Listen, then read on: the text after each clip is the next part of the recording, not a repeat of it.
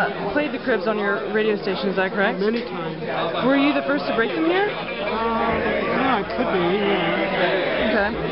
If I know you know a lot of rock stars, a lot of cool people. Um, if you could be any rock star in the world, who would you be and why? Who, who, who would I be and why? Oh God.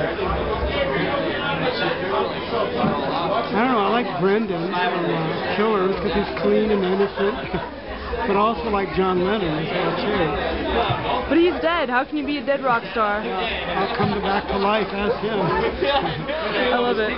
Um, what's your best pickup line?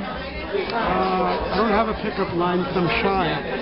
How do you get chicks? You have to come up to me. How does how does he get chicks? I don't know.